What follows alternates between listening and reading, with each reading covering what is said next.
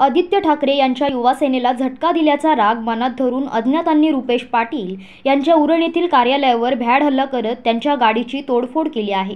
एकनाथ शिंदे यांनी शिवसेना सोडली आणि त्यानंतर त्यांनी बंड केलं व ते राज्याच्या मुख्यमंत्रीपदी विराजमान झाले. यानंतर महाराष्ट्रातील विविध ठिकाणी शिवसेनेचे खासदार आमदार नगरसेवक व पदाधिकारी कार्यकर्ते यांनी देखील शिवसेना सोडून शिंदे गटामध्ये सामील होण्याचा निर्णय घेतला व त्यानुसार ते सामील देखील झाले. मात्र युवा सेना माजी रायगड जिल्हा सचिव राष्ट्रीय सहसचिव तथा विस्तारक रुपेश पाटील यांचा चाळीस राज्य कार्यकारिणी पदाधिकारी समवेत शिंदे गटाला पाठिंबा देऊन आदित्य ठाकरे यांच्या युवा सेनेला झटका दिला. याचाच राग मनात धरून अज्ञातांनी रुपेश पाटील यांच्या गाडीची तोडफोड केली व उरण येथील कार्यालयावर भ्याड हल्ला केला. याबाबत रुपेश पाटील यांनी गुन्हा दाखल करून त्यांना पोलीस संरक्षण देखील पुरविण्यात आले आहे.